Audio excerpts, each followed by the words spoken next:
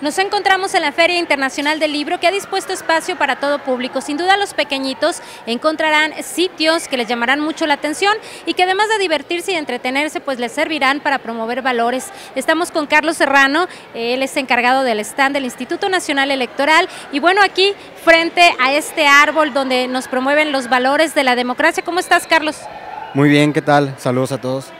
Estamos ahorita promocionando la consulta infantil y juvenil. Invitamos a todos los niños y a la comunidad en, general para que nos acompañen en nuestro stand. Tenemos cuentos infantiles y juegos para los niños para que conozcan sobre la consulta infantil y juvenil que se lleva a cabo este 7 de junio.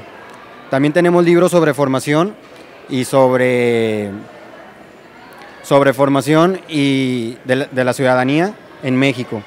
Sin duda vemos ahorita niños que se acercan, les están regalando memoramas, estos para promover en ellos esta cultura de la democracia desde pequeños. Vemos eh, los valores de la pluralidad, del respeto, la tolerancia, que es la idea, ¿no? Acercarlos a este, a este tipo de temas.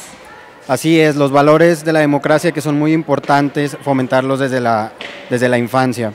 Ahorita aquí también tenemos un simulacro de lo que son las urnas infantiles y juveniles que se llevarán a cabo el 7 de junio. Esto con la idea de que los niños vayan conociendo desde ahorita la importancia de lo que es la participación ciudadana en nuestro país y que desde ahorita vayan desarrollando esos valores.